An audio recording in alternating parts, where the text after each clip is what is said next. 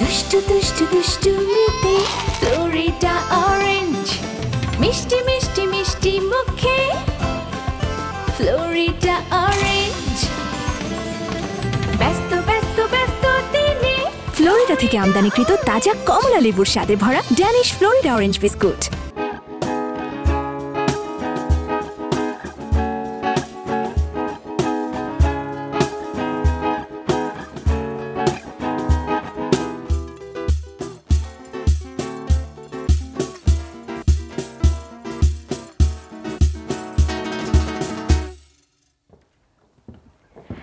ঈদ মুবারক।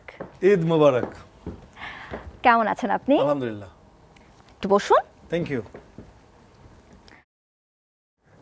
আমি আপনার সাথে আড্ডা দিচ্ছি তবে তার আগে আমাদের দর্শকদেরকে একটু ঈদের শুভেচ্ছা জানিয়ে নেই। ঈদ মোবারক। সবাই কেমন আছেন? নিশ্চয়ই ভালো আছেন। আর আপনাদের এই ভালো লাগার মুহূর্তকে আরেকটু বাড়িয়ে তোলার প্রত্যয় নিয়ে আমি আয়শা খান চলে এসেছি Danish Florida orange biscuit presents celebrity adda অনুষ্ঠানে। ঈদ জুড়ে তো আমাদের নানা রকম প্রস্তুতি থাকে। কিন্তু এই ঈদের দিনগুলোতে আমাদের তারকাদের দিন কেমন যায় তাই আমরা জানব এই বিশেষ অনুষ্ঠানের মধ্য দিয়ে। সাত দিন ব্যাপী ঈদ আয়োজনের আমাদের আজকের অতিথি চিত্রনায়ক জায়েদ খান। আরও একবার ঈদ মোবারক। ঈদ মোবারক আপনাকেও। কেমন আছেন আপনি? আলহামদুলিল্লাহ। ঈদের দিন কেমন কাট? খুব একটা ভালো না বিকজ এই প্রথম ঈদ আমি আমার মাকে ছাড়া আমার মা সিক্স মান্থ হলো গত হয়েছেন। আর আমি যেহেতু ফ্যামিলির ছোট ছেলে, মায়ের সাথে অ্যাটাচমেন্টটা খুব বেশি ছিল। বাবাও গিয়েছেন এক বছর, এক বছরের মাথায় মা। তো সে প্রতি ঈদটা কাঁদতো মায়ের হাতের ফিন ফিন্নিয়ার জর্দা দিয়ে। তো সেটা মিস করেছি। এখন মা বাবার কবরস্থানে গিয়ে জিয়ারত করে কাটছে। কোরবানির ঈদ মানেই তো হাটে যাওয়া গরু কেনা মানে সেই একটা বিরাট রমরমা ব্যাপার, জমজমাট একটা ব্যাপার। তো সেই সময়কার কোনো মজার স্মৃতি কি আপনার মনে পড়ে? হ্যাঁ আমি একবার গরু নিয়ে হাঁটতেছিলাম খুব একটা এলাকাতে। হঠাৎ করে গরুর দড়ি ছিঁড়ে গেল। গরু যে দৌড়াচ্ছে আর গরুর পিছনে আমি দৌড়াচ্ছি। আচ্ছা। তো এই যে স্মৃতি গরুর পিছনে পিছনে ছোট আমার তো শেষ যে আব্বা মেরে ফেলবে তখন তো আপনি চিত্রনায়ক ছিলেন না। না পিচ্ছি আমি তখন। আমি. এইট নাইনে পড়ি আমার গভর্নমেন্ট আমার বয়েজ স্কুলের ছাত্র আমার পিরোজপুর তখনকার ঘটনা। তো পিছনে পিছনে দৌড়াচ্ছি এই সেই গরুর পিছনে। অনেক দূরে গিয়ে পরে আমার এক ভাই ছিল সম্পর্কে উনি সেই গরুটাকে আয়ত্তে এনে দিল পরে আবার দৌড়ে দিল নিয়ে আসলাম। এটা একটা অনেক মজার স্মৃতি ছিল যে কি করব জোরে চলে যাচ্ছে। আবার বাজারে গিয়ে তো কিনতেও পারব না বাবা বলছে বাজারে নিয়ে যেতে। আমি বেশি একটু পণ্ডিত করতে গিয়ে দড়ি বেশি টানাটানি করেছি দড়ি ছিঁড়ে গেছে। এই যে স্মৃতিগুলো আসলে খুব মনে পড়ে। এই মুহূর্তে আপনার সাথে আমি একটা ছোট্ট গেমস খেলতে চাই। যেহেতু ঈদ তার জন্য ঈদ উপলক্ষে আমরা কিছু র্যাপিড ফায়ার কোয়েশ্চেন রেখেছি আপনার জন্য। ওকে আমার প্রথম কোয়েশ্চেন যেহেতু কোরবানির ঈদ তার জন্য কোরবানি ঈদ নিয়ে প্রথম কোয়েশ্চেন আর তা হচ্ছে কোরবানি ঈদে আপনার সবচেয়ে প্রিয় রেসিপি কি? আমার মা রেসিপি বলতে আসলে আমি ফিন্নি আর জর্দাটা জর্দা কালার ফিন্নি মিলিয়ে বাদাম দিয়ে এটা আমার মায়ের হাতে.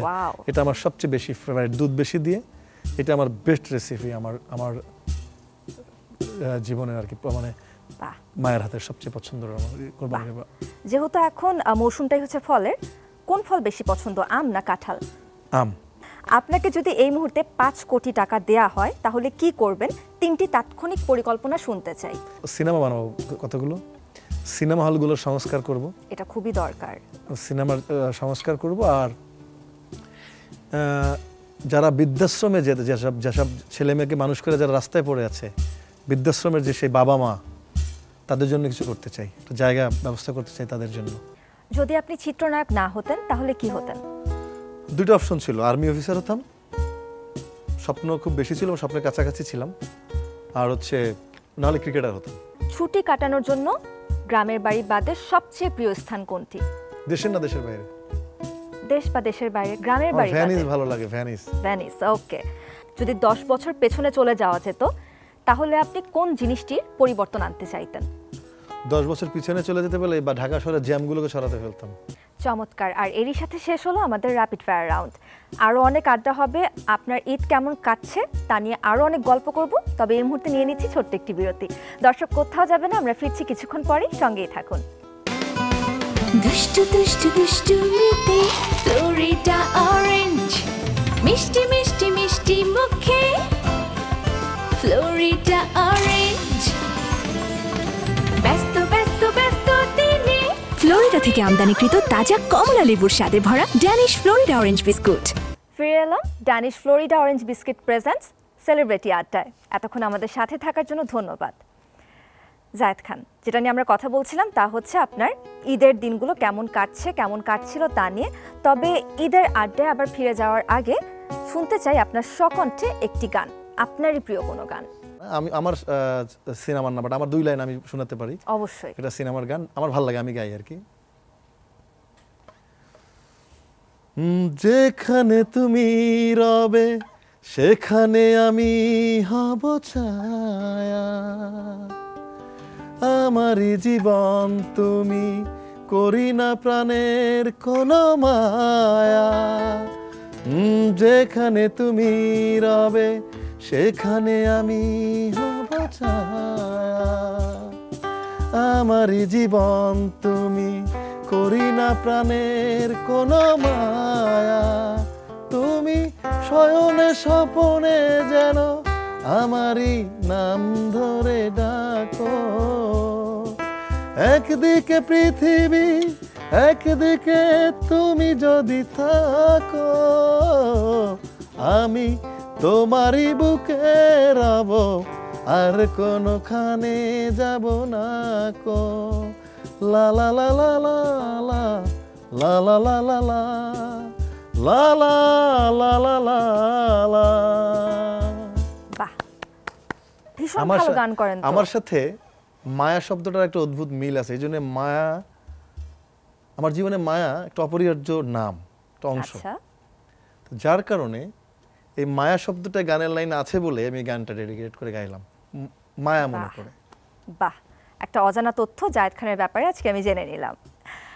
ঈদ নিয়ে আড্ডা হচ্ছিল যদি চিত্রনায়ক না হতেন যদি আপনি ব্যক্তি একজন সাধারণ ব্যক্তি মানুষ যদি জায়েদ খান হতেন তাহলে আপনার ঈদটা কেমন কাটতো বলে আপনি মনে করেন? সাধারণ মানুষের মতোই কাটতো।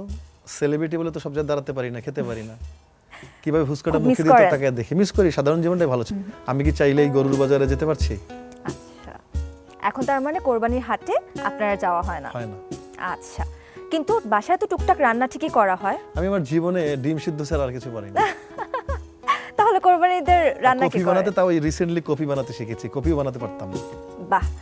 তাহলে কোরবানিদের পছন্দের ডিশটিকে রান্না করেন এখন। আমার বোন বোন রান্না করেন। ভাই বোনদের সাথে ঈদের কোনো মজার স্মৃতি মনে পড়ে ছোটবেলার? আমরা তিন ভাই এক বোন তো আমি সবার ছোট। এই স্মৃতি মানে ছোট ছোট ভাইয়ের তো স্মৃতিটা সবাই মজার। বড় ভাই একটা- এক সেট কাপড় দিত মেজো ভাই দিত। তখন তো আমি ঢাকায় থাকি না। আমরা তিন ভাই দুই ভাই বোন দুই ভাই বোনই ঢাকায় থাকে। তো আমি তখন ভাইরা আমার জন্য নিয়ে যেত। তখন প্রতিযোগিতা হতো আমার ভাইকে ভালো কাপড় দিয়েছে। কার সালামি বেশি? সেটা নিয়ে আসলে সময় কাটতো। সেগুলো খুব মজার স্মৃতি থাকতো। বাহ! তো এখন যে মানে এখন তো আপনি বড় হয়ে গিয়েছেন এখনও সালামি পাই সবার কাছ থেকে। পান তাও মানে এক নামে সবাই আপনাকে চেনে ভাগ হয়ে গিয়েছে। আচ্ছা। একমাত্র আমার সংসার হয়নি বিয়ে করিনি যেহেতু। আচ্ছা। যেহেতু একসঙ্গে থাকা হয় না। আর দুই ভাইয়ের বড় ভাইয়ের তিন মেয়ে মেজো ভাইয়ের দুই মেয়ে আমার বোনের এক ছেলে এক মেয়ে। তা আমার যে টাকাগুলো পাই এগুলো এদের মাঝে ভাগাভাগি করে দিতে হয়। প্লাস্টিকে বাকির ক্ষেত্রে শূন্য হয়ে যায় আর আহারে খুব কষ্ট হয় তখন তাই না? যে কষ্টটা মজা লাগে আর কি। যে আচ্ছা। টাকাগুলো বড় ভাইরা বা ভাবিরা যা দেয় এটা আবার ওদেরকে দিয়ে দেয় এই এই ঈদের দিনে এই মজাটাই সবচেয়ে আনন্দের। বড় ভাইয়ের বাসায় থাকি। আব্বা মা থাকতে বৃহস্পতি করতাম বাট নর্মালি বড় ভাই যেহেতু ফ্যামিলির বড় গার্ডিয়ান তার বাসায় সবাইকে যাওয়া হয় খাওয়া হয় দেখা হয়। সেখানে আমাদের ঈদটা কাটে যখন হঠাৎ করে আপনি রাস্তায় গাড়ি থেকে নামেন তখন থাকে না যে আশেপাশে মানুষ সাডেনলি বলে উঠেছে আরে আরে এটা তো জায়েদ খান। তখন কেমন লাগে? আই ফিল প্রাউড আমার মতো তো আমার মতো তো অনেক লোক আছে রাস্তায় শুয়ে থাকে কেউ দিনমজুর। আমি শুক্রিয়া কৃতজ্ঞতা জানাই মহান আল্লাহ তালার প্রতি। উনি আমাকে এখানে এনেছেন। এত এত মানুষের ভিড়েও যে মানুষ আমাকে চিনে যখন আমার সাথে ছবি তুলতে চায়। এটা তো বড় বড় নিয়ামত আল্লাহর। কে পৃথিবীতে কাকে চেনে আর কার ছবি কে তুলতে চায়? সবাই যখন আমাকে তাকিয়ে তাকিয়ে দেখে আগে মেয়েরা যখন দেখতো এটা খুব এনজয় করতাম একটা আচ্ছা। মেয়ে একটা বান্ধবী আর একটা বান্ধবীকে খুব- মানে একটা মজার স্মৃতি শুনতে চাই এই বিষয়ে। আমি আমার একটা মজার স্মৃতি হচ্ছে আমি তখন প্রথম তিন চারটা ছবি করেছি। তখন আমার প্রথম প্রথম কাজ আমি তখন সালের ঘটনা। না দিকে তো আমি এখন বেলিওরে গিয়েছিলাম একদম একদিন কি শ্যাম্পু নাকি কিনতে একটা দোকানে। তো তিনটা মেয়ে উপর করে যাচ্ছিল তখন তো তিনজনরা যেত বেকার এরকম কিছু। তো আমাকে দেখতে গিয়ে একজন একজনকে রিক্সা সামনে গিয়ে লাগিয়ে দিয়েছে আরেকটা রিক্সাতে মেয়ে উপর থেকে নিচে পড়ে গেছে। ইস। তো সবাই তো এসে রিক্সাওয়ালাকে মারতেছে যে তুই কেমন চালা স্বাভাবিক মেয়েরা পড়ে গেলে তো লোকের অভাব নাই তাকে হেল্প করার জন্য। তো আচ্ছা। রিক্সাওয়ালা বলতেছে আমার কি দোষ? ওই স্যাররা দেখতে গিয়ে তো উনি পড়ে গেছে মেয়েরা লজ্জা পেয়েছিল। তো এটা আমার অনেক মজার স্মৃতি আমার লাইফে আপনার তো অনেক ফ্যান আছে কিন্তু আপনি কার ফ্যান আমি সালমান খানের ফ্যান বাহ আর হিরোইনদের মধ্যে? হিরোইনদের লম্বা লিস্ট বাংলাদেশে বলতে পারব না যদি মানে দেশ বিদেশ সব মিলিয়ে যদি একজনের নাম নিতে বলি কার নাম বলবেন? মুশকিল। বিদেশে কোনো হিরোইন রাগ করবে না। না বিদেশের না। আমার বিদেশের চেয়ে আমাদের দেশের হিরোইনদের আমার কাছে অনেক বেশি ভালো অনেক বেশি ভালো ওদের কাছে আমার ওদেরকে আমাদেরকে প্লাস্টিক প্লাস্টিক সার্জারি করে আর্টিফিশিয়াল মনে হয় সিরিয়াসলি আমি অনেককেই কাছ থেকে দেখেছি। আচ্ছা। তার থেকে মনে হয়েছে আমাদের দেশের একটা সাবানা আমার দেশের একটা কবরী আমার দেশের একটা ববিতা আমার দেশের একটা রোজিনা আমার দেশের একটা মৌসুমি আমার দেশের একটা শাবনুর। অনেক বেশি। বাহ আমি কিন্তু পছন্দের নায়িকাদের তালিকা পেয়ে গেলাম এর মধ্য থেকে যে কাদের ফ্যান আপনি? এরা অনেক বেশি। আচ্ছা। মানে কি বলব যে অনেক বেশি আমাদের নায়িকার অনেক বেশি পটেনশিয়াল অনেক বেশি ভালো সুন্দর এবং ন্যাচারাল বিউটি তাদের। একদমই তাই। আরও অনেক আড্ডা হবে তবে তার আগে নিয়ে নিতে চাই ছোট্ট একটি বিরতি। দর্শক কোথাও যাবেন না ফিরছি কিছুক্ষণ পরে সঙ্গেই থাকুন। দুষ্টু দুষ্টু দুষ্টু মিতে ফ্লোরিডা অরেঞ্জ মিষ্টি মিষ্টি মিষ্টি মুখে ফ্লোরিডা অরেঞ্জ। ব্যস্ত ব্যস্ত ব্যস্ত দিনে ফ্লোরিডা থেকে আমদানিকৃত তাজা কমলা লেবুর স্বাদে ভরা ড্যানিশ ফ্লোরিডা অরেঞ্জ বিস্কুট আমন্ত্রণ সবাইকে Danish Florida orange biscuit presents celebrity আড্ডায় সাথে থাকার জন্য ধন্যবাদ। আড্ডা হচ্ছিল আমাদের জায়েদ খানের সাথে। বিরতিতে যাওয়ার আগে তিনি তার পছন্দের নায়ক নায়িকাদের তালিকার বর্ণনা আমাকে দিচ্ছিলেন। তবে এখন আর আমি পছন্দের নায়ক নায়িকাদের কথা জানতে চাই না। জানতে চাই আপনার পছন্দের সিনেমা যেটি আপনাকে অনুপ্রাণিত করেছিল একজন চিত্রনায়ক হতে। পছন্দের সিনেমা তো আসলে ওই সময় অনেক অনেকগুলোই ছোটবেলায় অনেক লা- তালিকা। আমি বললে ভুল হবে। প্রথম কোন সিনেমাটা যেটা আপনাকে অনেক আমি প্রথম ছবি দেখছি নরম গরম। আচ্ছা। এই বৃষ্টি ভেজা ও রাইট হ্যাঁ। ওয়াসিম ভাই অঞ্জু ম্যাডাম ওয়াসিম ভাই তলোয়ার ফাইট তখন আমাকে খুব টানতো। আমার মনে আছে আমি কাঠের তলোয়ার বানিয়ে কোমরে নিয়ে নিয়ে দড়ি বেঁধে হাঁটতাম। আমার কোমরে একদম ব্যথার মতো হয়ে গেছিল তরল নিয়ে নিয়ে। আমি ফিল্মিক ছিলাম ছোটবেলার থেকে আমি। রিল ওই যে নেগেটিভ নেগেটিভ কালেক্ট করতাম। আচ্ছা। তারপর সেগুলো নিয়ে কি করতেন? তারপরে পরে আমাকে খুব একটা ছবিটা মানে আম্মাজান ছবিটা আমার প্রচণ্ড দাগ কাটছে। মায়ের প্রতি ভালোবাসা এটা আমাকে খুব দাগ কেটেছে। তো এরকম অসংখ্য সিনেমা নাম বলে শেষ করতে পারব না বাট প্রথম সিনেমা দেখা আমার নরম গরম আমার মনে আছে। আচ্ছা। যেহেতু আপনি একজন সেলিব্রিটি খুব পপুলার একটা ফেস অন স্ক্রিন সাংবাদিকদের মুখোমুখি তো হতেই হয়।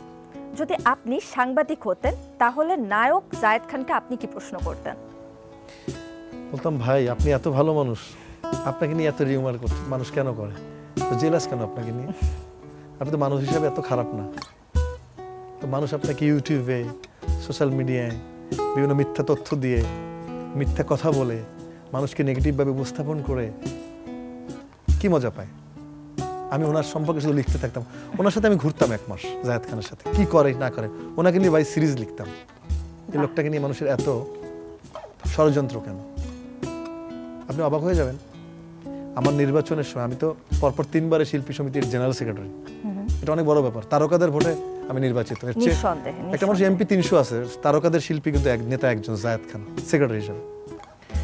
তো সেই সময়কার ঘটনাটা, এই মামলা মোকদ্দমা চলছে, সেটা গেল এই সময় না বললাম তখন বিভিন্ন ধরনের ষড়যন্ত্র, আমাকে মার্ডার কেসের আসামি বানানোর মতো ষড়যন্ত্র, মিথ্যা তথ্য দেওয়া, আমার সাথে কোনো, কারও ভালো সম্পর্ক থাকলে তাকে, সেটাকে মিথ্যাভাবে উপস্থাপন করা। আমি খুব ডিমোরালাইজড হয়ে যাই মাঝে মাঝে। আমি সর্বোচ্চ শিক্ষা প্রতিষ্ঠান থেকে পড়াশোনা করে আসছি ঢাকা বিশ্ববিদ্যালয় অনার্স মাস্টার্স করা আমার বন্ধু বললাম না, আমার ফ্রেন্ডরা সব সাতাইশ, আঠাশ, উনত্রিশ বিসিএস দিয়ে সব এসপি হয়ে গেল কিছু সব। ম্যাজিস্ট্রেট কেউ সিভিল সার্ভিস আমি চাকরি করলাম না। বিসিএস ফর্মে কিনিনি বিকজ আমি এফডিসির গেটে গিয়ে দাঁড়িয়ে থাকতাম। আমার সিনেমা আমাকে টানতো আমার ভালোবাসতাম এই লাইনটাকে অনেক ভালোবাসে আসছি আমার এগুলো বলার কথা না আমি আমার জীবনে আমার জীবদ্দর্শে আমি জীবনে কোনোদিন সিগারেট স্পর্শ করি নাই মদ স্পর্শ করি নাই কোনোদিন আমি টাচ কি জানি না। সিগারেট কখনো আমি স্পর্শ করি না আমার জীবনে। মানে আসে না শখেও করে। I didn't do that in my whole life ভালো হওয়ার চেষ্টা করেছি। আমার মনে হচ্ছে ভালোভাবে বেঁচে থাকাটা মজাই আলাদা। মানুষ আমাকে খারাপ বানিয়েছে। কিছু মানুষ মুষ্টি মেন সিনেমা আসার পর আগে এরকম ছিল না। এগুলো, ঈদের দিনে কথাগুলো বলার উদ্দেশ্য হচ্ছে ঈদ তো মানে আনন্দ, ঈদ মানে খুশি। আমাকে কষ্ট দেয় কোন বিষয়গুলো আর কি। আমার মা রত্নগর্বা গোল্ড মেডেল পেয়েছে দুই হাজার তেরোতে। শিগটে রত্নগর্বা আমার গোল্ড মেডেল। তো আমাদেরকে মানুষ করার চেষ্টা করেছে। ভালোবেসে সিনেমা এসেছি। আমি যখন প্রথম নতুন মুখে ফার্স্ট হই বোর্ডে অনেক লোক জিজ্ঞেস করে তুমি ঢাকা বিশ্ববিদ্যালয়ে এমএ পাস করে সিনেমা আসছো কেন? সবার একই কোয়েশ্চেন কারণ আমার সিনিয়র আমার গ্যাপ অনেক আমার সিনিয়র অনেক একজন ছিলেন এরপর আর গ্যাপ ঢাকা বিশ্ববিদ্যালয়ের কেউ নেই আমি ছাড়া। তখন প্রশ্ন করলাম সবাই যদি চাকরি করে তা সিনেমায় আনন্দ দেবে কে? আমি লাইনটাকে ভালোবেসে এসেছি। আমরাও চাই যে সাংবাদিকরা যাতে আপনার এই ভালো দিকগুলোই সেই জন্যই কথা বললাম যে আপনি যেহেতু বললেন যে সাংবাদিক হলে কি করতেন এই প্রশ্নগুলো বললাম যে আমার সাথে ঘুরে ঘুরে আমি ওনাকে নিয়ে সিরিজ লিখতাম। বাহ। এবার আপনার জন্য একটা মানে আরেকটা গেমস আর তা হচ্ছে ট্রু অর ফলস ওকে প্রথম কোয়েশ্চেন অনেকে বলে আপনি নাকি মুডি এটা কি সত্যি? ট্রু আপনি নাকি অনেক দেরি করে ঘুমাতে যান এবং দেরি করে ঘুম থেকে ওঠেন? ফলস বাসায় অখণ্ড অবসর কাটাতে আপনি নাকি রান্না করেন এবং সেটা নাকি একা একাই খান? ফলস বৃষ্টি দেখতে আপনি নাকি একটুও ভালোবাসেন না? ফলস সাঁতার জানেন না বলে আপনি নাকি নদীপথে ভ্রমণ করেন না? ফলস আচ্ছা সুযোগ পেলে আপনি নাকি লং ড্রাইভে চলে যান। ট্রু টোল দেওয়ার সময় নিজের তারকা খ্যাতিকে ব্যবহার করেন। ফলস বাহ! আপনি নাকি সবসময় বন্ধুর জন্মদিনে গিফট ছাড়াই হাজির হন এবং তোর গিফট বাকি থাকল বলে খেয়ে চলে আসেন। ফলস বাহ! এর সাথে শেষ হলো আমাদের ট্রু আর ফলস এবং দেখতে পেলাম যে আপনার ব্যাপারে অনেক অনেক মিথ্যা কথা আছে যেটা আপনি বলছিলেন যে অনেক রিউমার্স আছে এবং আমিও সেটাই দেখলাম যে অনেক আমি দেখলাম এটা আমি জীবনে রান্নাই করতে পারি না। তাই সেটা একটা মিথ্যে। তারপরে ধরেন। সাঁতার আমি তো বরিশালের ছেলে। বরিশালের ছেলে আমি তো ছোটবেলা থেকে নদী পার হয়ে নদী ধান নদী খাল এই নিয়ে বরিশাল। তো আমি তো সাঁতার জানি ছোটবেলা থেকেই। আমার বাবা মা আমি আমি মনে আছে আমার ট্রুথ একদম হাঁটতে শিখছি যখন তখনই বাবা বাবা আমাকে নিয়ে সাঁতার শিখিয়েছেন। আমার আশেপাশে নদী ভরা। আমরা কলা গাছ যেটাকে বলে কলা গাছ নিয়ে নিয়ে সাঁতরে এই নদীর উপরে চলে যেতাম। আমাদের ওখানে বলেশ্বর নদী পাশে।